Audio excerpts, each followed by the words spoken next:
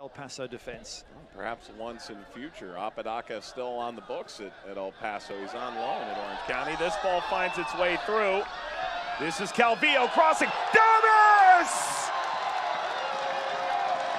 Orange County breaks through with their first shot on target. Fired them up at halftime, but lovely move down this right-hand side.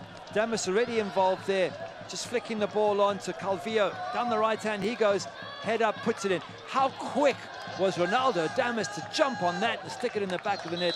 Doesn't need a second touch. It's a sliding shot